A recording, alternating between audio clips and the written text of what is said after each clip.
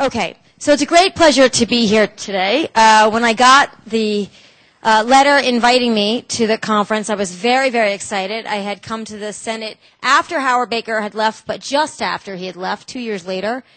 And I, he, his imprint was so huge, and I was so excited. And I'd always, always admired him, as did my, um, my boss, Senator Moynihan, was a big fan of Howard Baker's. So I wanted to tell you that one of the reasons that I was so excited was that many years later, after I had um, completed my PhD, I was finishing my PhD at the Brookings Institution on a fellowship. And in um, 1993, and this should just, for the students, I want to give you a little bit of context about money. President Clinton, who had a unified Democratic House and Senate, the Democrats controlled the House and Senate. President Clinton said, We're still in a slight recession. I'd like to spend a little money on the stimulus package. How about 19 billion? That's all he wanted. 19 billion. Do you guys know, anybody know how much the stimulus package was? Any students know how much we spent? Or we're about to spend? 787 billion. All Clinton wanted was 19 billion. And there were four people who blocked him, all Democrats. Um, I'm just going to mention two in particular, well, the three Bs, like three people. Senator Bryan of Nevada, Senator Breaux of Louisiana, Senator Boren. And they went to the floor of the Senate and they filibustered the stimulus package. Um, Senator Byrd was the chairman of the Appropriations Committee, and Senator Mitchell was the majority leader. And this is something that Howard Baker probably would never have done, but what Mitchell did do was step aside and let Robert Byrd manage the bill. In other words, when you go to the floor of the Senate, there's a senator who's in charge of managing the legislation, typically the committee chair and the ranking member, who's the highest um, the highest serving member on the committee from the opposite party, the minority party. So uh, Senator Byrd stepped aside. Uh, Senator Mitchell stepped aside. Senator Byrd ran the Senate, and he did exactly what Steve Roberts talked about. He filled the amendment tree. So it was, and it was an unheard of process at that time. It had happened twice before in the last decade. And what he said was, I think the president's package should pass. You Democrats, people members in his own party. You're threatening to derail an important package. The president needs it. So I'm filling the amendment tree on the stimulus package, which meant literally there are seven opportunities to amend a bill. And I will not bore you with all that, what they're called, but seven opportunities to amend a bill. And uh, what happened was Senator Byrd is the first person to get recognition by the chair of the Senate. And what's fascinating about Senate rules is everybody thinks they're set in stone, that they've been written somewhere, and that this is why things work the way they do. But you guys know majority recognition. In other words, why when you watch C-SPAN, or if you guys ever do, or CNN or Fox, you always see the majority leader speaking. Why? Because the majority leader is given what's called first recognition. There's a standing rule of the Senate that says every senator, if they raise their hand and say, Madam President, I rise today, they get recognized to speak. That right to speak is where filibusters come from. That's where the filibuster comes from, is simply the right to be recognized to hold the floor and speak. The problem ha- uh, occurred for the Senate starting in the 1920s and really moving into the 1930s was that it was getting busy. There were lots of things to do. So if everybody jumped up and got recognized, there wasn't that much that they could get done. So ultimately in 1937, the presiding officer of the Senate, and for you students, that was the Vice President of the United States. Up until the 1950s, the person you saw on that screenshot, people didn't see that, there was no TV yet, but the person you saw was the Vice President of the United States, who's constitutionally the presiding officer of the Senate. And the Vice President, up until Richard Nixon was Vice President, used to sit in that chair. So the Democrats controlled um, the, the Senate and the, the White House. The Vice President was uh, was a Democrat. And the, a person rose to speak, and it was a very controversial bill. It was an anti-lynching bill. It was a very complicated situation. And the majority leader wanted recognition to finagle things so that there wouldn't be embarrassing votes and they could come to some compromise. But up until then, it had never been clear that the majority leader gets to go first. But in that day, on, on that bill, the, the, the, Vice President of the United States says the majority leader shall be recognized first, even though another senator, Senator Robert Wagner of New York, put his hand up and said, I'm here first. And the vice president said, no, it has been an informal tradition that we recognize the majority leader. So we are going to recognize the majority leader first. In fact, that will be a standing precedent of the Senate. I'm ruling as chair of the Senate. That will be the rule. And it didn't really take hold firmly, firmly until the 1950s under Johnson. But it's a very powerful thing. People don't, people think it was, it's always been this way. In fact, there wasn't even a majority and minority leader of the United States Senate till 1912, officially.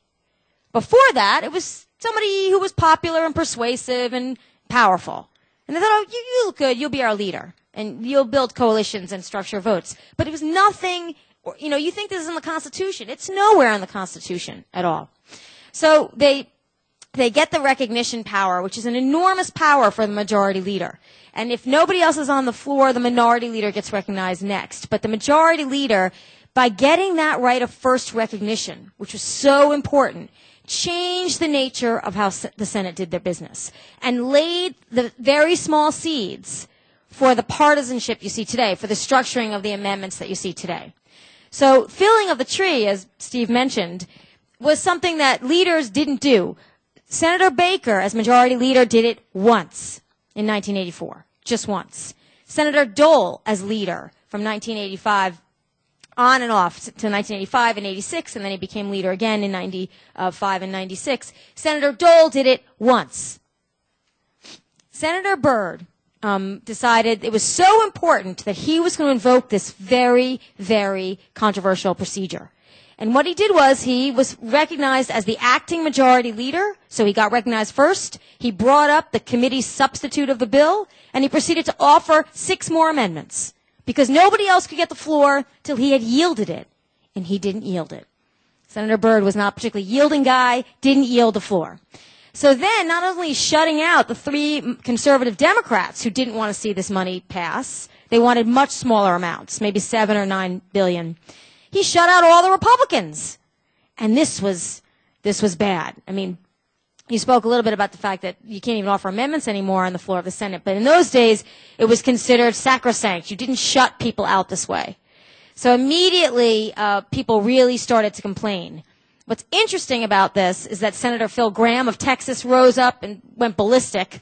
And he had a fascinating colloquy with Byrd about the rights of individual senators. But Senator Dole did not object. He said, this is a little bit unorthodox, a little bit unfair, but I've done it when I thought I needed to do it, so I can't really complain. It completely backfired on Senator Byrd, the use of the amendment tree. I think something Senator Baker would have understood. Don't do this. It's not the right time. It backfired so badly because he had angered Democrats in his own party and all the Republicans. And the Republicans didn't want us pass the stimulus package. It was a perfect opportunity to say, you're not being fair. So they filibustered so not only did the Democrats say, we're just going to talk this thing to death, the Republicans joined in with them. And there was a recess coming up, and the majority leader refused to reschedule recess. Mitchell let them go out. When they came back, they decided that they couldn't possibly get the stimulus package passed at all. Senator Byrd had to take down the tree. The bill was withdrawn from the floor, and President Clinton never got his stimulus package. All because of the power of the right of first recognition for the majority leader and deciding when to use that and when not to use that, that was an enormous set of skills that Howard Baker had when he was minority leader, when to obstruct and when to cooperate, and when he was majority leader. He didn't work with a hammer. He didn't pound people. He tried to persuade and build coalitions. But I'll tell you a story about his tenure, which is that it was successful for a while, but then even he ran into trouble with his own party. So I want to talk a little bit about that example. But getting back to the stimulus package, in April of 1993, after it had failed, President Clinton had lost. It was a big defeat for the president early in his uh, administration. A colleague of mine who had worked with Senator Moynihan, his name is Curtis Kelly, and I loved procedure. So we thought we're going to write an op-ed about this amendment tree and about Byrd and about the whole how it all backfired. And Senator Baker beat us to it. He was more prominent, of course. And so the Washington Post ran a great op-ed by Senator Baker on the exact same thing that we had wanted to get published on. So that was kind of sad for us. But we sent him the op-ed. I was at the Brookings Institution at the time, and I actually still have the letter that we sent, and I have, in fact, this is the point of the story, I have um, his letter that he sent back. And I want to tell, especially the young people, about what it means to be to put it simply, a, a, class act. I mean, how do you conduct yourself even after you've left um, the corridors of, of elected office. So we sent him a letter said, Senator Baker, you beat us to it. We're big fans of yours, but we want you to read this too because we think maybe you'd enjoy it. So uh, he wrote us back rather promptly, which is also a sign of great leadership skills. And um, I didn't bring the original letter with me, with the original envelope, because I didn't want to lose it, so I have a copy. Um, and he said, I do appreciate your letter of April 27 and the copy of your article about Senator Byrd's parliamentary prowess. I can testify firsthand that you did not overstate his ability in that category. When I became majority leader, I figured the best thing I could do was to try to strike a deal that neither of us would ever intentionally surprise the other, to which he readily agreed. We never did, which made for a great personal relationship. He and I remain very good friends after eight years of opposition as leaders. And he closes with saying, thanks for your remarks about my piece in the Post. That felt like old times. I think it's just a life lesson for students. I always like to give you a life lesson. You know, you can be the most famous, most powerful person in America, but the way you treat people that you don't know, that aren't in a position to do you any favors, is really the mark of, a, of character. Um, and it was a, we were so excited to get this letter. But I also want to point out, he said he was friends with Byrd. I don't think Harry Reid and Mitch McConnell have gone out for a personal dinner on a friendly basis ever. Mitch McConnell's the minority leader and Harry Reid's the majority leader. Ever. Dole and Byrd went toe to toe for years and years, but there was always a, a, semblance of respect. And I think Professor Roberts is absolutely right. Much of that respect is gone. And it makes it much more difficult to govern the Senate. Um, so I want to talk a little bit about um, Howard Baker in particular.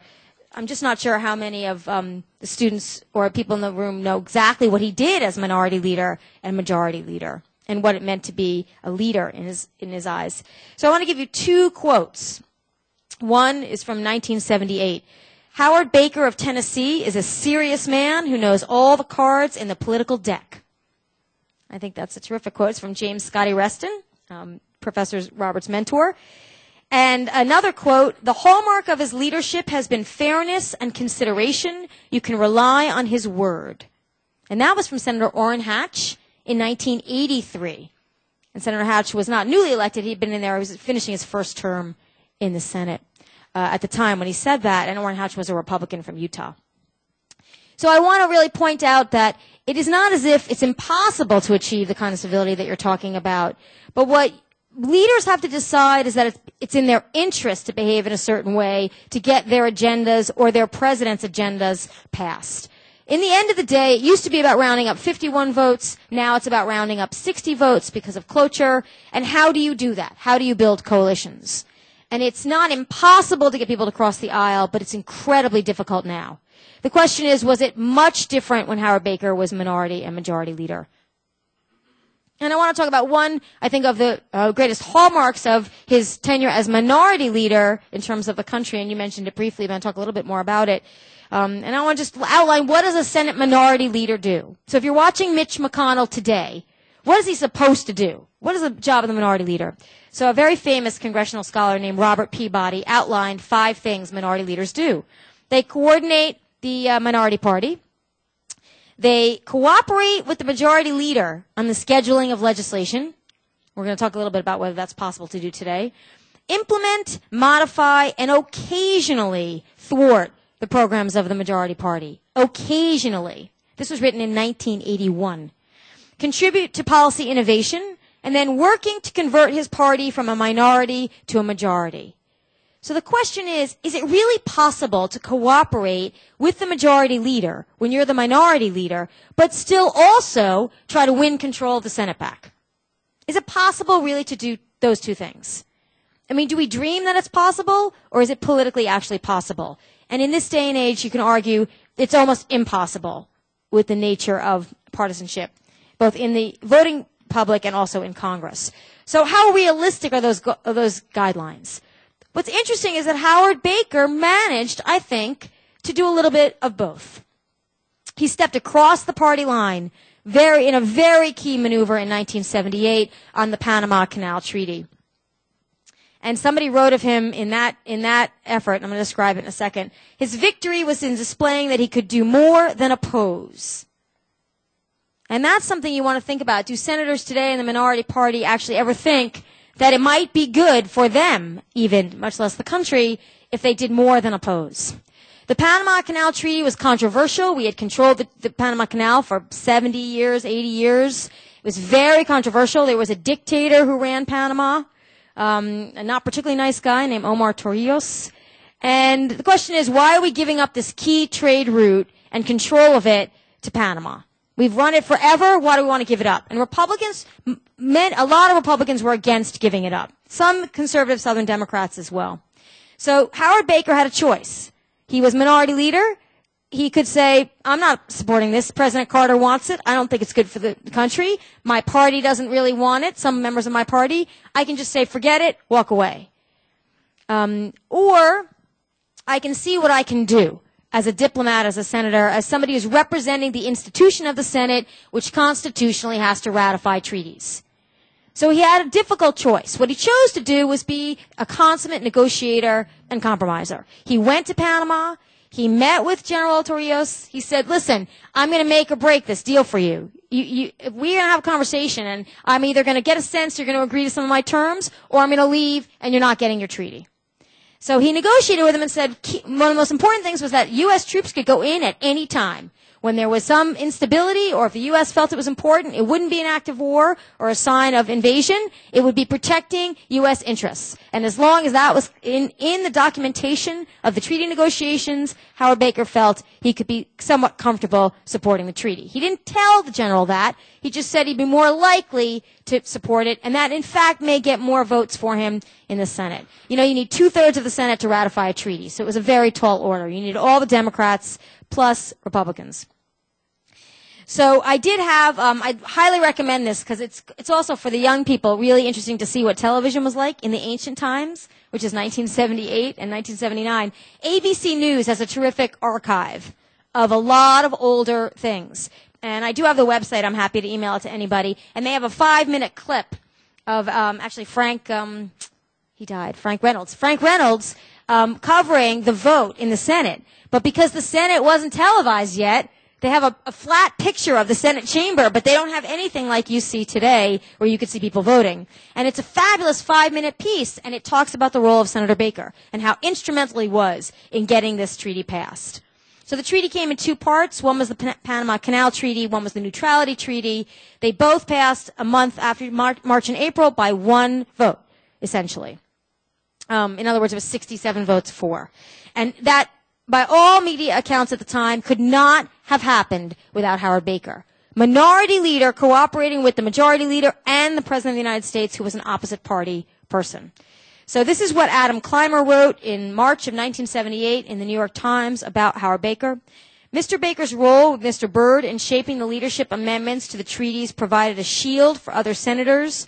Without him, as both leader and, a, and as lightning rod. At least five of the 16 of the Republican senators who voted aye on Thursday would almost surely have been in opposition. That's what leadership is. Leadership is saying, I believe there's something better for the country that needs to be done. I'm crossing the aisle. But it's also smart leadership. He crossed the aisle with a good portion of his Republican colleagues. He didn't cross the aisle by himself. That wouldn't have been enough. He needed to not only um, cooperate, but bring other Republican senators with him. And that is leadership. And that was crucial for the passage of the treaty. And I think that, I think that in that way, it enhanced his power, actually, in the Republican and Democratic caucuses in the Senate, but it cost him something. Starting in 1978, and this is a very broad macro trend, starting in the 1978 period, plus 80, plus 82, the South, which had been white, Democrat, conservative, started to move Republican. Slowly, Newt Gingrich was elected in 1978. Trent Lott had been elected, I think, in 1976 to the House. So they, they, it was slowly moving. So what you saw was a very vocal conservative wing of the Republican Party and a conservative wing of the Democratic Party, but a very conservative wing of the, of the Republican Party really starting to emerge and laying the groundwork for Ronald Reagan's victory for president in 1980. So Baker started to feel the heat from the right, from the right wing of his party in a considerable way. Now, as um, I'm going to quote Cokie Roberts, uh, I think this is her line. Every senator, when they get up in the morning, they look in the mirror and they think, I should be president and I'm going to run. Well, Howard Baker wasn't immune, although I wouldn't say it was as ego driven as other senators, but he thought maybe I'm going to run for president in 1980. Jimmy Carter looked very vulnerable. I mean, if you could be a president and have every bad piece of luck that you could possibly imagine, you'd be Jimmy Carter. I mean, he made a lot of mistakes as president, but he had a, he had just a string of external things that happened to him that no president could probably handle. Um, if you think things are bad for Obama, you have, nothing. You should go back and read about Jimmy Carter. Everything, every time he'd wake up, he'd get one thing done and then something horrible in the world would happen to him. So he was very vulnerable. And he was a very thoughtful guy, but he, he was a little tough to negotiate with. I think Senator Baker found him tough to work with. So, Senator Baker figured, well, I can be president. I've been around a long time. I'm smart. Um, I have a nice message I think I can send to the, uh, the people of, uh, of the nation.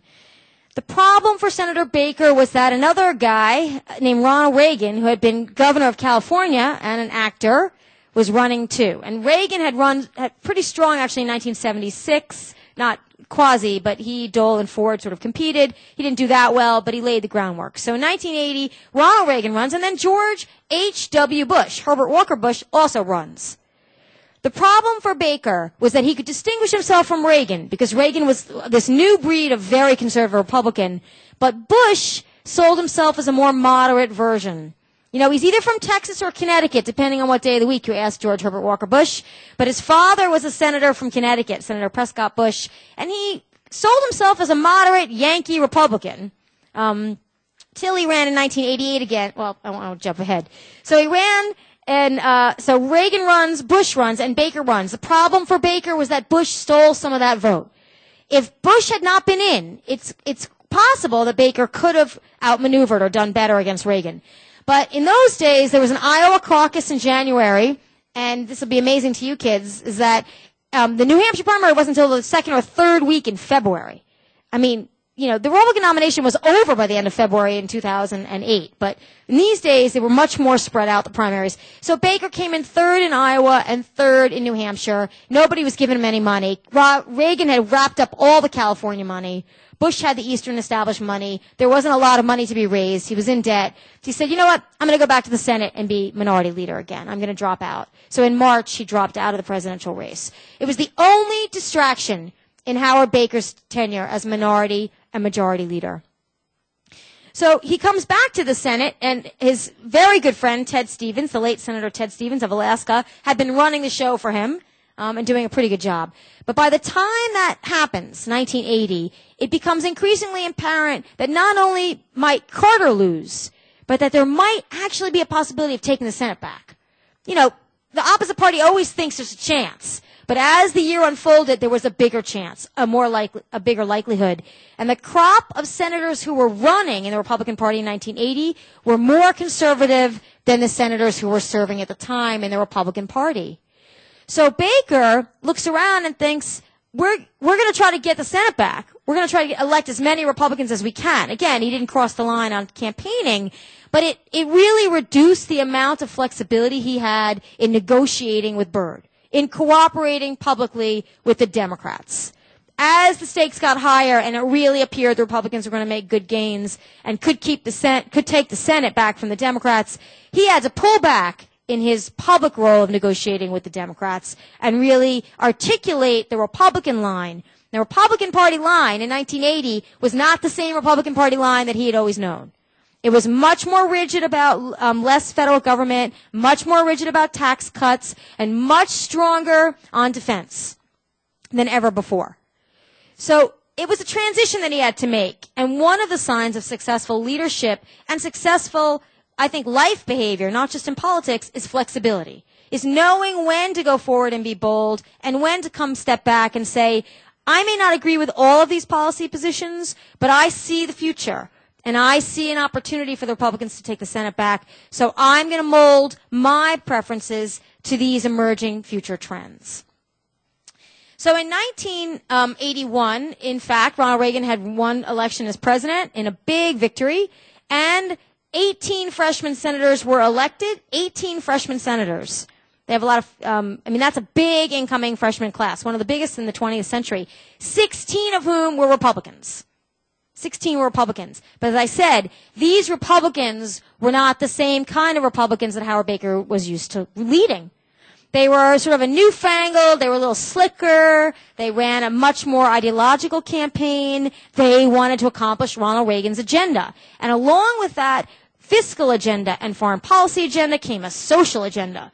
Prayer in school, ending busing, ending enforced desegregation, and rolling back Roe v. Wade. In other words, banning abortion. A constitutional ban on abortion was one of their planks. So this was a challenge for Senator Baker in the highest, to the highest extent. How is he going to actually connect with this newer generation of incoming senators?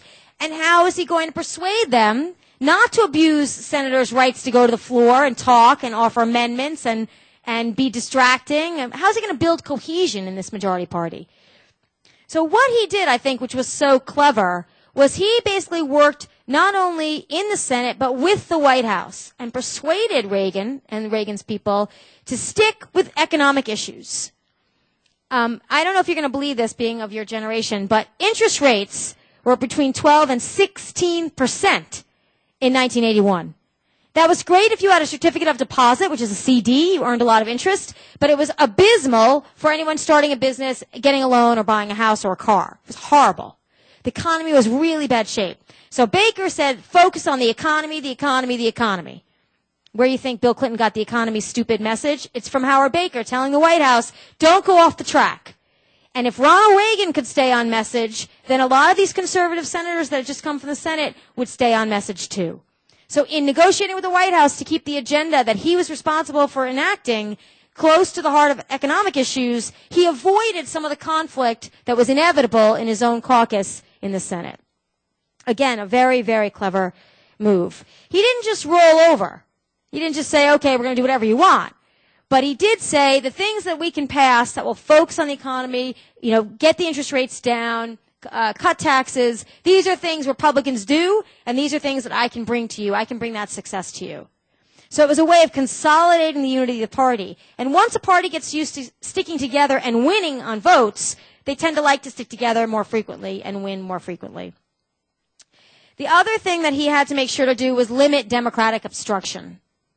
And this is where I think um, things start to change a little bit for Howard Baker. Uh, in 1981, many Democrats, especially the Blue Dogs, the conservative Southern Democrats in the House and the Senate, liked Ronald Reagan. They were in favor of a lot of these measures. It wasn't that difficult to get these things through. There wasn't that much obstruction. But in 19, late 1981 and 1982, things start to change in the Senate. And I think, especially for Howard Baker's way of governing, you'll think about this. Um, when you think about what was happening politically in the country, Republicans were starting to see that they could maybe one day become a national majority party. They were not yet a national majority party. But what they had to do was mobilize whatever advantages they had. And conservative social issues and the conservative Christian right was a big advantage for the Republicans. So starting in late 1981, Senator Helms of North Carolina started offering amendments on the floor on these kinds of issues. And this started to cause some problems for Howard Baker. He managed to defeat them, but it diluted the message of unity and it diluted the message of the Republican Party. So, for example, I counted for this research uh, how many cloture motions, which are anti-filibuster motions, and tabling motions, which is when the majority leader tables an amendment he doesn't want people to have to vote on and he doesn't want it to pass. In 1981, Howard Baker offered one cloture motion against a Republican, Jesse Helms, and offered five tabling motions, two against Republicans, three against Democratic sponsored initiatives. And one sign of a majority leader's difficulty in governing his own party is how much he uses procedure against his own party. So by 1982, he, um, Senator Majority Leader Baker had filed 11 cloture motions 10 against Republican amendments or bills. Not bills, amendments. And only one against a Democrat. He had filed 17 tabling motions, 7 Republican and 10 Democrat. So that was proving to be a very difficult year, 1982, for Howard Baker. Things were not picking up in the economy as well as people wanted. The Republicans were floundering a little bit, and Social Security was threatened with disaster and failure. So there had to be a lot of legislative work to be done, and keeping this coalition together became much, much more difficult for Senator Baker. Part of the ability to use persuasion is that your audience listens to you, that they feel they have an interest in going with your leadership. These new senators were much harder to persuade about that than the older generation. So when you think about the partisanship in 2010, it really started. It really started, I think, before Bork in the early 80s when you had an opportunity to articulate a very different approach to government. And, um, very different approach to government. Somebody want? It's all right. Um, that happens in class all the time, so I can plow right through. In 1983, just to give you an example, Senator Baker uh, filed nine, nine cloture motions, but this time um, it was against two Republicans, two Democrats, and five co-sponsored amendments by Republicans and Democrats. So not only does his own party start to rebel against him, now he's he's getting trouble from coalitions of Republicans and Democrats. Senator Byrd is the um, minority leader at the time. In 1984, he had to file 14 cloture motions, uh, one against Republicans, six against Republican Democratic coalition, and eight Democrats, and 15 tabling motions, mostly against Democrats. Things got tougher. So Senator Baker, who was not someone who loved procedure in a heavy-handed way, found himself using the kinds of prerogatives that, that leadership always have in the Senate, which Harry Reid uses all the time now, but he found himself using that not just against the Democrats, against his own party as the Republican Party was experiencing some very big transformational growing pains. And I think it's really important to recognize that he did not use it as first resort, he used it as last resort. I want to talk about um, a little bit of the managerial challenges that Senator Baker faced, as well as the political challenges. Um, and I want to talk about uh, television in the Senate. So, managerial challenges. Senator Baker, all the while he's negotiating the political landscape, has to figure out how to make the Senate run and run better. And so what he does is he, Senator Byrd had been the majority leader. He took over for Byrd. He said, we're going to make the Senate more efficient and more predictable. We're going to have a schedule. We're going to, I'm going to consult with committee chairs every week and I'm going to ask, what is it that you have on the docket? Is there something that needs to be brought up? When do you see the bill coming out of committee? So I can tell senators when they have to be here and when it's likely that they can go home or they can do something else. So I think it was important for Senator Baker as a majority leader to show his colleagues, both Republicans and Democrats, he was concerned about their time. As campaigns started to get more technical, more television involved, more expensive, senators needed to raise money. They needed to be off the floor. You can't raise money when you're on the floor sitting at your desk. You need to be off the floor. So fundraising and campaign pressures start to hit the Senate, in addition to the pressures to travel home. In those days, they traveled home more frequently. Or not more frequently, but they traveled home a lot. So he took steps to say, this is the schedule, and unless some act of nature or act of God happens, we will stick to our schedule. We will not be in as long as, as we used to be. There will be fewer late night sessions, although he did, by the way, at one time in four years, instruct the presence of absent senators by arresting them. Do you know that the majority leader can do this? Byrd did it a couple of times. He had no compunction about using it. Byrd uh, Baker was much more circumspect. You can actually instruct the sergeant of arms to arrest absent senators. And that he did that once. It means basically going to their office or their hideaway, these offices they used to have in the Capitol, um, and pulling them out of the office and saying, "Come to the floor, we have a vote." Because if you don't have a quorum, you can't vote. So if you wanted to block something but not actually filibuster it, you could just stay off the floor. And so Baker just did that, but only once. He eliminated the practice of stacked votes. Stacked votes are when senators complain they don't want to have to come to the floor and vote for 20 minutes and then leave and come back and leave and come back. By the way, the distance is not that far. They could walk outside, it's a lovely view, or they could take the subway, um, but they complained about it. So it used to be that they stacked the votes, one after the other after the other. He eliminated that practice so that you only had votes on the bill somewhat near when the end of debate came. Why is that important? For accountability reasons, it's very important. Trying to figure out how your member voted when you're sifting through 10 votes or 8 votes is very difficult. But two votes is much more easy to identify. So it becomes a liability, but also a strength for the Senate that the votes were not stacked anymore. he not only managed committee referrals, he managed turf wars. So he had two, particularly, um, and you didn't really talk about this, but the finance committee and the what's called the labor and human resources committee always fought, always. Ever since the uh, 1960s, when a lot of programs like Medicaid and Medicare were created, there's a lot of cross-jurisdictional territory. And Kennedy, when he became chair of the um, Labor and Human Resources Committee and then ranking member, and Dole in particular, who was chairman of the Finance Committee, they really fought over territory. They wanted they wanted to make changes in all these programs. They wanted their committees to be at the head of the, of the game. And even when the Republicans took over labor and human resources, it still was highly problematic. So Baker would have to sit down with them and say, you're getting this piece and you're getting this piece. Or it's going to your committee first and then your committee and settle this problem. It was a problem that plagued, I would say, the Senate all throughout the 1980s partially because Senator Kennedy was very aggressive about taking any kind of piece of territory that he thought he could and um, controlling the changes in policy.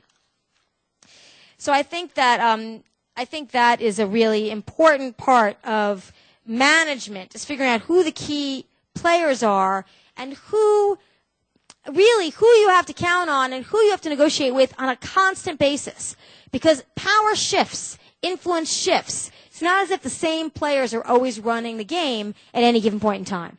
And Baker showed a remarkability to sort of sense who was becoming more powerful and more influential on the Republican side and the Democratic side to help negotiate uh, running the Senate. Another very important thing that Howard Baker and um, Senator Byrd did, starting in 1983, when I described how the Senate was getting a little bit more unruly, as one journalist put it, um, they agreed to limit the use of holds. Now, hold, as Steve Roberts described, is when some a senator. It used to be. Now they have a different technology, but it used to be there was a hotline. You know, like the movies where there's a red phone for a nuclear war. There was a hotline phone that usually rang in every Senate office. It was either a line or an actual separate phone, and it said, "We're about to do the following bills. If you have an objection, call us."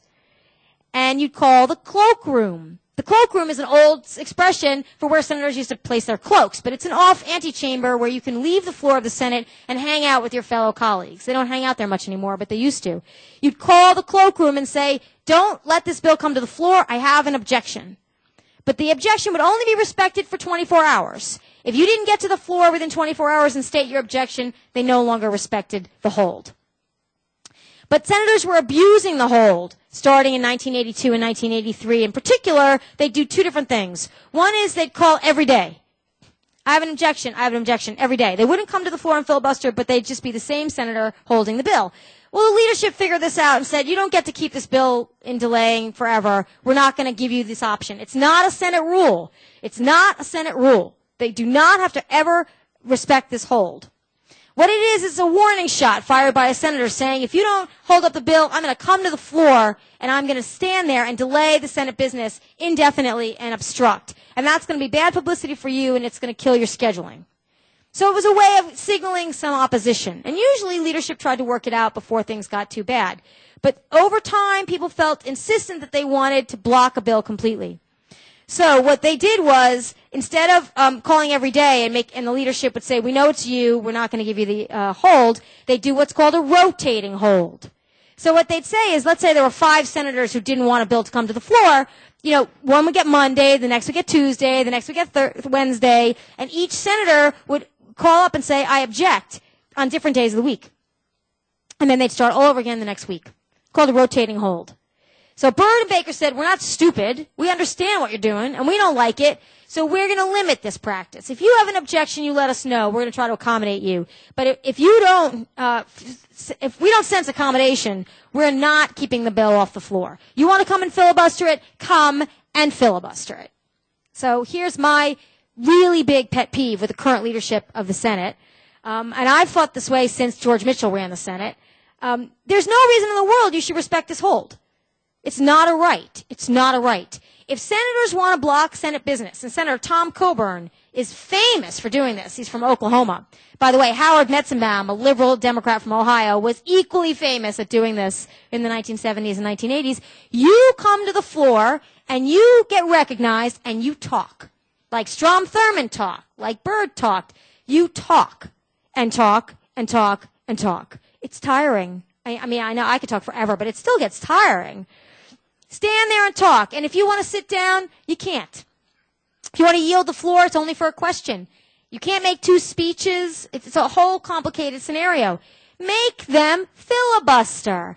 It's not that filibusters have gone up, really. I mean, everything gets filibustered. It doesn't. It's magical. Name one filibuster by one Republican senator in the last two years. Where you saw them, you know, constantly on the evening news and you saw them ever. Give me one. You can't.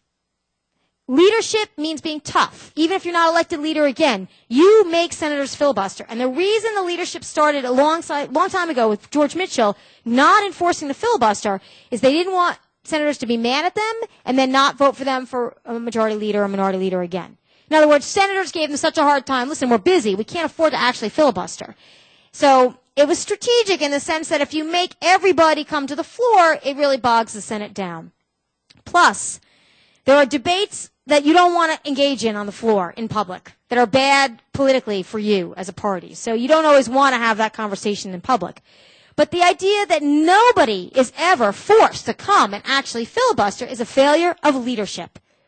And it's not just because they don't like each other or they disagree. It's because they're failing to lead. Harry Reid has chosen other kinds of manipulations of the rules. Again, I think Howard Baker would never have allowed or done what Harry Reid does. He really violates the principle of the Senate. He closes off debate literally. You can't offer amendments. He uses that right of first recognition not only to fill the tree, but engage in lots of other um, parliamentary maneuvers, even on what's called the motion to proceed to a bill. Even getting to a bill has become more complicated. It really makes it so that senators cannot offer amendments the way they used to. And why is that a fundamental problem? Because Senate is a representative body. You may not like somebody's amendment, but they represent their state or their political ideology. They have a right to offer amendments to legislation. This is a legislative process. Democrats who ran the Senate as a majority party don't have the right to say it's our way or the highway. If you want to live that way, go to the House of Representatives. That's the way they run things. The founders did not specify any internal rules for the Senate.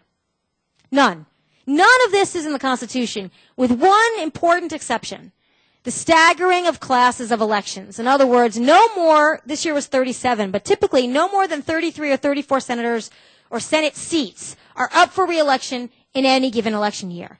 What that does is the majority of the Senate is not up for reelection together. So they have time. They have six years to do what they have to do. They can deliberate. They can take their time. They can stall. They can do whatever they have to do. They have the time. And they are not intrinsically connected to the House. The House is up every two years no matter what. The Senate, the majority is not. They separated the electoral incentives of House and Senate members for a reason. So when you approach governing the Senate as if it's the House to accomplish your party's agenda, you are diluting the power of the Senate. Because there will be a time when one state, and I'll tell you the irony of this in a second, one state has an issue so important to them, they need to filibuster. And that's representation. And that is what the founders wanted in some ways for the Senate. A place where even if there's one person who disagrees, they bring an issue to light. I'm going to tell you two different stories about this, and uh, you can chime in because you'll probably have something to say about Carol Moseley Braun. Um, so in, uh, in, in 1993, or 1993 or 94, there was a very simple measure on the floor brought, brought to the floor by Joe Biden, who was chair of the Senate Judiciary Committee, and his ranking member, Strom Thurmond, who had previously been chair of the committee, to reauthorize the charter of the Daughters of the American Confederacy. Now, I'm in Tennessee, which has a fascinating pre and post Civil War history. Um, but this was very important to the Daughters of American Confederacy. They needed their federal charter. They'd been federally chartered forever. They wanted this charter. So Thurmond said this is a great, because um, it was a sponsoring chapter in South Carolina, so he was from South Carolina. So Biden says, fine, no problem. They bring it to the floor. They, uh, they offer it, it goes right through by, by uh, a vote. And they vote, and then typically in the Senate, once you vote, um, the, the party that favors or the, majority leader typically says, I move to reconsider the vote, and then the minority leader says, I move to table that. And so the vote is closed, essentially. In between, literally in between the motion to reconsider and the motion to table, it must have been not even a minute, minute and a half, Carol Moseley Braun, an African American female senator who had been newly elected from Illinois, jumps up, literally out of her seat, and says, Mr. President, I'd like the floor. And she gets the floor. They haven't actually tabled the vote. She gets the floor and she says, I just want to say what the Senate did today. Do you know what you've just done? Do you have any idea what this means to African Americans? You haven't debated it. You haven't discussed any of the issues surrounding Confederacy, slavery, the Civil War. Nothing. No consideration, no debate. I object to this. I don't want to do this. I want a full discussion. There's been no discussion. Do you know what this means? And she was chastising the Democratic leadership, the Democratic Party, which benefits from anywhere from 89 to 95% of the African American vote and they had not even had a conversation about it. So it's not just that she was a woman, she was an African American woman, not just representing Illinois with a significant African American population, but African Americans generally. She got up, no chance to offer an amendment of any kind. She, it was just going through the usual business of the Senate. So they have an hour and a half discussion about this, and they re-vote, and it goes down. It's defeated. They reconsidered the vote, and many uh, Democrats changed their votes, including someone named John Kerry of Massachusetts, changed his vote. They sent it back to committee. The committee had to write a separate report on the nature of the issues involved in the Confederacy and the Civil War, and eventually the charter was approved by voice vote. That's the power of individual Senate representation. It's very important. Another power, which I think is the greatest irony for what Senator Harry Reid is doing as majority leader, which I think really sets a precedent for when the Republicans take the Senate back, what the Republicans can do in the majority. I think this all comes around. The Senate shifts control a fair amount. Harry Reid was elected in 1986 from Nevada. There is a mountain in Nevada. Does anyone know what mountain I'm talking about? The Yucca Mountain. One of the first things Harry Reid ever did in the 100th Congress, 87 to 88, was filibuster a proposal to dump nuclear waste on or in Yucca Mountain. Does anyone know if they actually dump waste in Yucca Mountain today? They do not. He filibustered this every single session for a good 10 to 15, I mean, really, forever, really, until he became majority leader. And there was no way you were dumping nuclear waste in Yucca Mountain when he was majority leader. So you know where they're going to put it? New Mexico. I don't know why New Mexico is the loser there and Nevada is the winner. The point is, he used the very powers of filibuster, the powers to object, the powers to delay, the powers to maybe do something that was better for Nevada but not the country, himself, for years and years and years. So if he ever talks about obstruction, it's hard to take him that seriously. I understand the problem, but you can't use the same rule for 15 years um, and then turn around and say, no, no, no, not for you. You can't do it. I think Howard Baker would never have engaged in that kind of public hypocrisy. It's hypocrisy. Either use it and let everyone else use it, or don't use it. But you can't have it both ways. Well, apparently you can if you're Harry Reid. Um, Harry Reid went home and ran on protecting Yucca Mountain for many years too when he ran for reelection. It was a very big stalwart of his reelection campaigns. And I agree. I have a, the same statistic that um, Professor Roberts has is that in the four years that Howard Baker was majority leader, he on average, Democrats voted with him 54% of the time. 54% of the time. That's incredible. I mean, that is an incredible statistic. You would never get that today. Never. In the old days, votes that, things that passed the Senate passed with big margins, lots of cooperation, now they're barely, barely passing. But it's a remarkable accomplishment. And understand there were tides of discontent, tides of change in the Republican Party at this time. But he still managed to win Republican and Democratic votes. So I think that is, once again, a, a great testament to his leadership. Television in the Senate. I think if you point to one thing that Howard Baker saw that other people didn't, most other people in the Senate at the time, it was bringing television to the Senate. The House had approved television in 1978, 1979 with C-SPAN. The Senate was resistant. One of the first things he did was introduce SRES 20 to televise the Senate. And the first person up to oppose him was Robert Byrd. No, no, no. Well, partly, do you think maybe because Byrd wasn't so telegenic? I was wondering why he was so opposed to it. But I think that in the end, he was opposed to it because he felt there would be more grandstanding, more political speeches. It would dilute the character of the Senate. People wouldn't be free to say what they wanted. Meanwhile, there's been the congressional record since about 1878, 1880. Before that, there was Congressional Globe. There's a lot of transcripted remarks. But the thing about the congressional record, and I know this because I had to do this, especially since I worked for a man who wasn't always totally coherent, is that you could go to this chamber off the floor as soon as your boss was finished speaking, and the junior people in the office got this task, and you would correct the record. And what the reason you did this was before the internet, before email, before all this other stuff that you guys have, there was this physical written record. It was typeset. And that's where you knew what your senators had said. That's what you knew what they were talking about. So if you had television, that meant that if you said something on the floor, it had to match what you said on television. The problem for the Senate was frequently they went off the cuff quite a bit, or they got into a fight with somebody, or it wasn't so coherent and brilliant. Well, you could go to the congressional record and change it. Not too much, but change it enough to make it nice and smooth. Because then you know what you did with it? You printed it up and you sent it in an envelope to your constituents to tell them that you were fighting on their behalf. It was a fabulous campaign tool to send out the record. The problem was once television came, you couldn't do that anymore. And I was doing it once on the immigration bill actually. It was really late at night. It was like 12:30 in October in 86 and it was I was trying to fix what he had said about immigration. He had given an entire history of immigration policy in the United States, Senator Moynihan. So it was a long correct. And, and the guy who was running the record said to me, now, now, don't, don't be going changing Moynihan's words too much. The man's an interesting guy. And I said, all right, I'll just be really careful. I'll just make it coherent. Um, you can't do that anymore. I mean, there are all sorts of ways that you would think you never think about about the way senators crafted their persona and and and image to their constituents in written word and public word that would be upset by television. Um, frequently, you could insert a statement in the record on a debate, and you you wouldn't know the senator wasn't there to give the remarks. It would just go in as if he was standing there. It was great. It was really a great tool. Then all of a sudden, the evil television came, and they put a black dot next to the remarks, and it said black dot indicates they weren't there.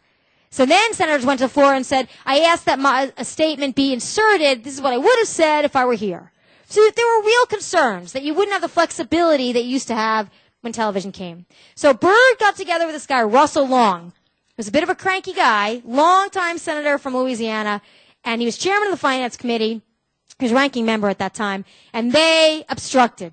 That was the one cloture motion that I mentioned Byrd um, passed, Byrd invoked, was uh, against, no, the one was against Helms. The next year it was against Byrd and Long, and some of those Republican Democratic coalition cloture motions were against Byrd and Long. So for four years, Senator Baker dutifully tries, works hard to try to get television. He said, listen, it's democracy, it's technology. It, the more people see what we do, the more support they will have for the institution, unlike what I think Professor Roberts thinks. And the more they will feel connected to their senator, represented, empowered. So this is just a really good idea. We want to be ahead of the curve. No, no, no, no, no, no, no, no. He got no, no, no. So he finally leaves the Senate as majority leader, and he retires from the Senate in 1984, and he leaves not having accomplished this goal that he really wanted. Lo and behold, 1985 and 86 come along. Senator Dole wins the battle to succeed Senator Baker as the Republican leader. Senator Byrd is the minority leader. And what does Byrd decide? Well, gee, the House of Representatives is getting a lot of television coverage. They seem to be featured on the evening news quite a bit. Why? Because the evening news could show a vote with real people, not just a landscape. A real vote where real people were voting. So this meant the House was getting quite a bit more national coverage than the Senate. And Byrd loves the Senate. And he wanted, the late Senator Byrd, he thought the Senate's getting eclipsed. We are the upper chamber. We're more important. We should be getting television coverage. Well, newsflash, you can't get television coverage if you don't have television in the Senate. So he gets together with Dole and says, the time has come. Let's do it. So he tries to persuade some portion of the party. They do a contingent provisional television of the Senate starting in about May or June of 86 and goes through end of July, early August. And it seems that the world didn't change, the sky didn't fall, and senators seemed to manage fine, so they adopted television in the Senate. It took a lot longer than anybody might have expected. Did it change the nature of Senate deliberations? Of course. I mean, in some ways, in the old days, a Republican could go over to a Democrat and put their arm around them or talk to them and look like they were negotiating, but not now when the Senate's televised. So there are ways in which television really reduces the probability of cooperation across the aisle. It increases the probability of speech making in a sort of more superficial play to the audience kind of way. But as I said, not as much as you would think, because senators always use the technique. Even, by the way, let me tell you, in the late 19th century, they did the same thing. They went to the floor and they made speeches, and then they'd send these speeches out to newspapers and to constituents. So speaking on the floor was always a bit of grandstanding. It wasn't as if it changed it dramatically. It did change, in some ways, the kind of senator who you elect. There's a little more pressure on looking the part than there used to be because of the U.S. Senate. And in the majority leader race, some believe that after Senator Byrd served from 1987 and 88 as majority leader, he was not telegenic, wasn't good on TV. And they chose George Mitchell, who had made his reputation in the Iran-Contra hearings, who they believe was, was better on TV. I don't think Howard Baker would have suffered in the least bit. I think if there was television, he was, was great on TV. He had all sorts of experience, even starting with Watergate on television. He was good on television. So I think it wouldn't have been a problem for him as leader. So I think that that was a, an amazing amount of foresight, and I think that he recognized trends, he recognized political trends, he recognized trends in media coverage. Okay, so here's my uh, my wish list for Harry Reid and Mitch McConnell. What can they learn from Howard Baker? Um, first, tone down the partisan rhetoric. I think I completely agree with Professor Roberts. This is a leadership question. You don't have to go and slam your colleague. You don't have to slam people personally. You don't have to win your battle in that way. People have won battles in the United States Congress for 200 years. They've been vitriolic at times, but they don't have to be as vitriolic as they've been. So I think that the long-term success for Senate leadership and, and the Senate would be to tone down the partisan rhetoric. Second, structurally, if you devolved more power back to the committee chairs. This is something Howard Baker recognized was a good, efficient managerial style. If you take some of these battles down to the committee level, they're less public and less intense. You can televise committee hearings, but you don't have to. I mean, you can request it, but you don't have to. So that means that committee people can work out some deals and then come to the floor, which would increase cooperation. The consolidation of party power in the House, particularly over committees, has bled into the Senate. The Senate now tries to control lots of things that the committees are doing, and committee autonomy has been very much reduced. That makes all the conflict come to the Senate floor. It makes running the Senate much more difficult. Put people in committee leadership positions you trust and trust them to make policy. You may win or lose, but devolving more committee power back to the chairs and ranking members, I think would make this possibility of maybe someday cooperation a reality. Um, the respect and no compete clause. So here's where I differ a little bit, Professor Roberts. I, I do I do think that there's always been a tradition of not campaigning against your colleagues, but typically it's in your own state. So what they do is they don't campaign directly. You know, Moynihan did not campaign directly against D'Amato, but he would go to fundraisers for people running against D'Amato. You know, but he would never say anything bad about D'Amato he'd say, oh, that fella is great, you know, the Democratic candidate, but nothing really major. That has changed a little bit, but within state, it hasn't changed that much because you got to work with these people. On the second hand, across the country, it's changed quite a bit. Senators will go to rallies and try to rally their troops. One senator did not do this in a particular state this year. Do you know who? McConnell. McConnell, unlike Frist, I, know I'm in Frist country, so I'm going to be careful here. Um, but, but Senator Frist, by going to South Dakota and campaigning actively in, in the territory of his colleague, was something that was stunning to me. And I'm, I'm not, you know, I've been looking at the Senate for a long time, and I've seen a lot of things. My friend Curtis Kelly, the person I mentioned before, called me and said, "Do you know where um, Bill Frist is today?" And I said, "Where? South Dakota, campaigning against Daschle." There had been an implicit and explicit agreement between majority and minority leaders since they were in, in, invented in the 1920s. You don't go and campaign against the leader. no, period. You don't do it. To my knowledge, Frist was the uh, first one to do it in, in 60 years. And it really broke the fabric. It really said, have you no respect for this institution? How could you go there? You can host fundraisers, but going there and campaigning on behalf of John Thune, who subsequently won against Senator Daschle. So I don't care if you hate the guy. You don't go as majority leader or minority leader because it sets an incredibly bad precedent for future cooperation. Mitch McConnell, in a little tiny blurb, was reported he went all over the country. You know where he didn't go? Nevada. He did not go to Nevada to campaign against Harry Reid. He may have said, and he didn't say much about Sharron Angle because she wasn't the establishment candidate. He raised money. He said, I want the Senate back. He thinks Obama should be one-term president. He did not go to Nevada. And someone asked him, why aren't you going to Nevada? He said, I'm not doing that. That's something we don't do. I'm not campaigning in Nevada against Harry Reid.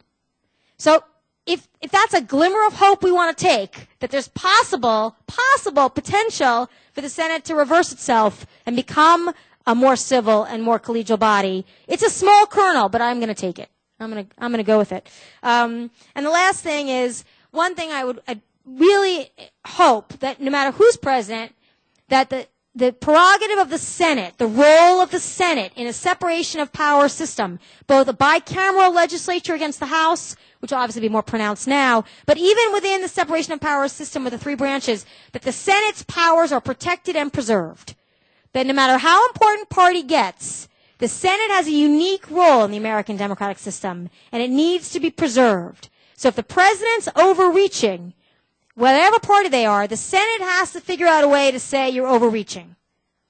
Because if the Senate's powers are not preserved in the system, then I think there isn't any stopgap. There's no stopgap measure, I think, to really prevent political parties from taking over everything to the extent where representation of something that's not party line or, or geographic in nature is at all possible. So I'm going to finish there and then ask if anybody has any questions.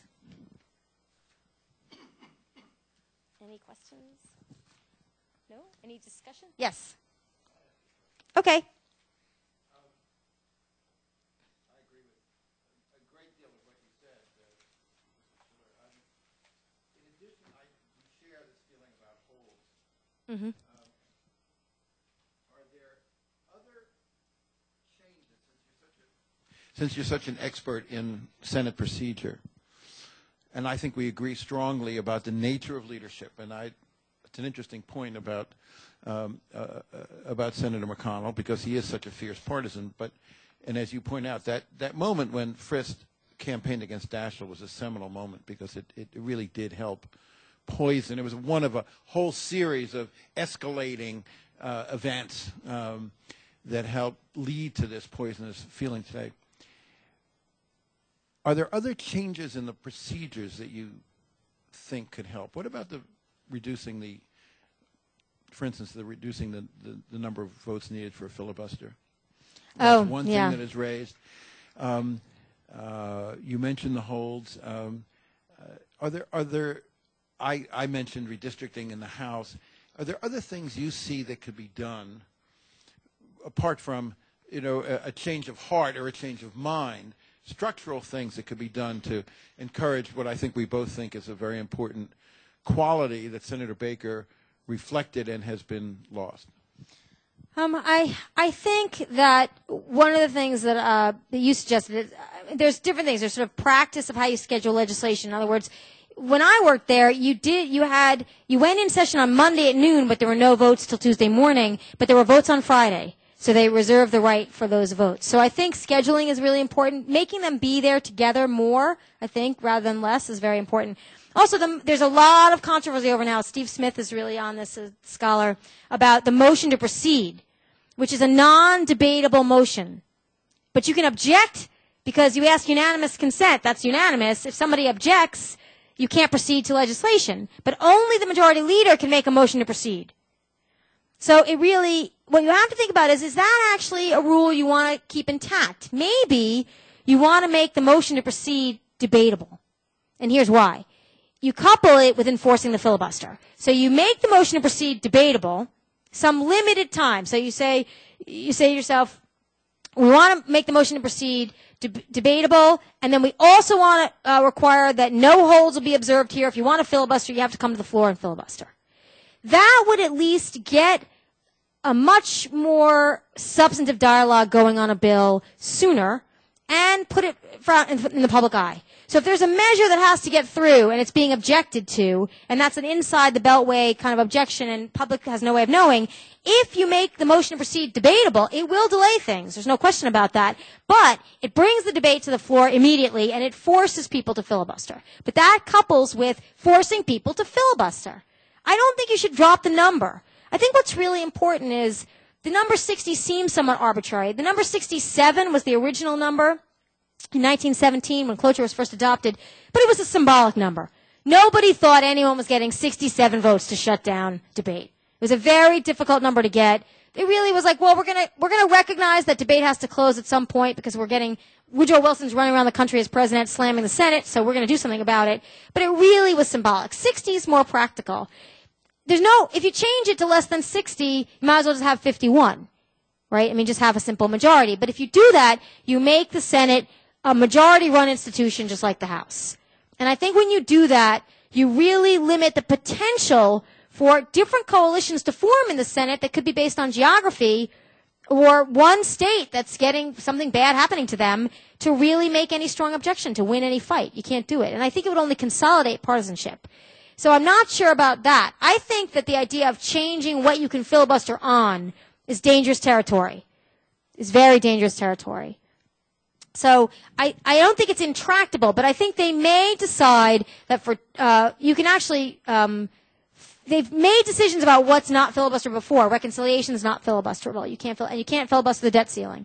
So I think there are pieces of legislation that you can't filibuster. So they may extend that to executive nominations, Supreme Court justices.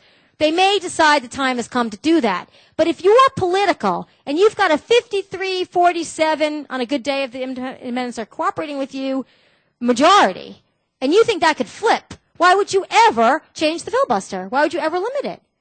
I think it has to be a deal by McConnell and Reid, which probably won't happen, that says enough of this fake filibuster. We want real filibustering. And I think that would diminish filibustering overnight. I do. I think it simply wouldn't happen nearly as much. But the other rules changes, I think structurally, the Congress um, is a bit outdated. I think the structure of the Congress that the Federalists put up is outdated. I think House members should have three three years as their term, not two. I think it gives them a little bit more flexibility. It gets them a little bit more time, and I think um, the districting process is a nightmare right now because you have you will have between 700 and 750,000 people in a congressional district in 2012. We had 30,000 when we first started this country. 65 people in the House with 30,000. You can't know. I mean, Rhode Island has less than a million people as a state. You can't know the people of your district with between 700 and 750,000 people, which means party will always be important because it's a signal to the voters of what you're going to do. They never see you. They don't know you. They haven't met you most of the time. So the only thing you have to go on are television commercials or web campaigns and your party affiliation. The bigger the districts. So let's make, let's increase the size of the House. The size of the House is not constitutionally limited. It's a law. It was a law passed in 1929 to cap the House at 435. The Russian Duma is 600. The, um, the British Parliament is combined 1,100 people. The Indian Parliament is 900 people. There's no reason in the world you can build a stadium that holds 70,000 people. You can't build a chamber that holds more than 435. There really isn't any structural reason. And I think if you increase the size of the House, you break up some of that stranglehold that redistricting has. So it, everyone thinks you have to con- change the Constitution to do that. You don't. And I think that's something that should be um, greatly considered by the powers that be. But I don't know if that, that'll be the Tea Party or some other mobilization, but people are going to start to realize they don't even know their congressmen. They're never going to see them. That this idea of local representation is impossible with districts that big. Yes, sir.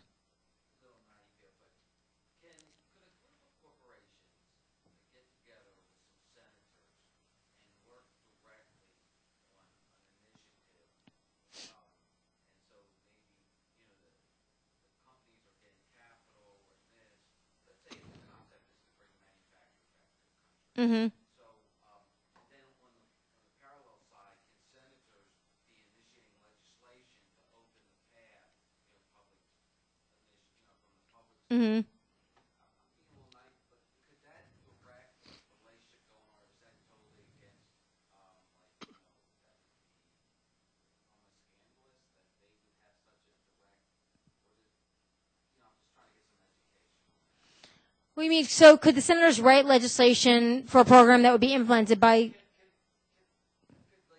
No, you can't. You can't structure it that way. You can't say we're the ten companies and we'll put up the capital for this program. Could you pass a bill that will give us matching funds directly?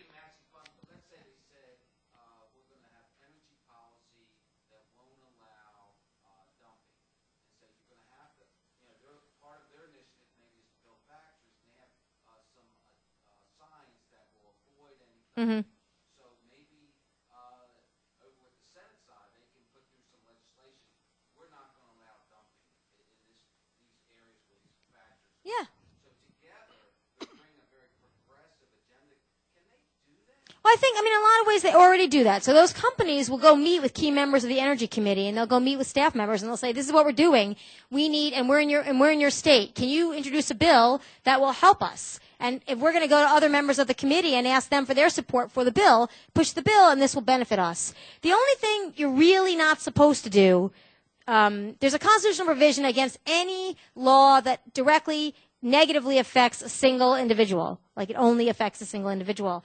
Um, but generally, you you can do that as long as there's open competition for federal funds. And but most people try to help factories in their state. I mean, there's nothing wrong with that. So you need to be concerted in your campaign. You take these 10 companies and you find where they're located and they go to their representatives and their senators and their staff. And then they, then interest groups always do this in Washington. Successful ones. They build coalitions by coordinating legislative efforts.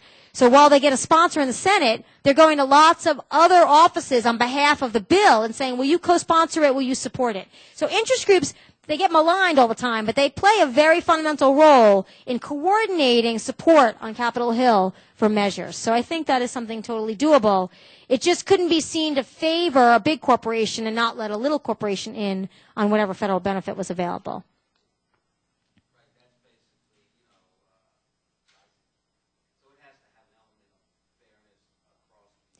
Right. Well, fairness, I wouldn't say fairness. I'd say equality of opportunity in terms of applying for money. You may rig it so the qualifications really favor one company over another, but theoretically, it's open competition.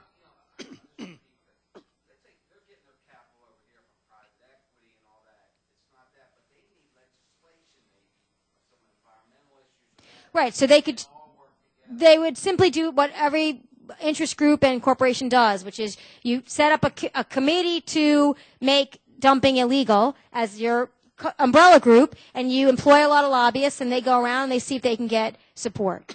So I just want to leave you with one last thing. Do I have time for one last thing? It's a completely separate thing, but I want to make you, not that you made us feel bad, Steve, but um, I just want to talk about the power to change politics just for one second in terms of regulation, going a little bit off. And I think Howard Baker would really like this woman if you, if you met her.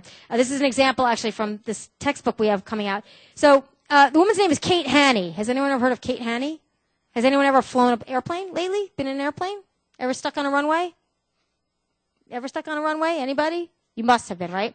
She got stuck on a runway with her family in December of 2006. They were going on vacation for Christmas. She was stuck for nine hours at Austin Airport. They wouldn't let her off the plane. There was no food. There was no water. The toilets didn't work. She was so angry. She got off the plane and said, how could be I live in America and this happened to me? This is about representation and what you have to do. Like, if you want to change what happens in Washington, you have to change yourself. As a voter, you have to expect more from people. So Kate Hanni said, I'm so angry, I'm doing something about it. She and her husband mortgaged their house. They put up a website called flyersrights.org, which still exists. And they got 18,000 web signatures of support for an airline passenger's Bill of Rights. She campaigned to have Senator Barbara Boxer, just as you're suggesting, introduce the, the bill in the Senate. She had her congressperson introduce it in the House. It actually made it through subsequent iterations, but it didn't get quite enough support. It made it into a bill, and then the bill died.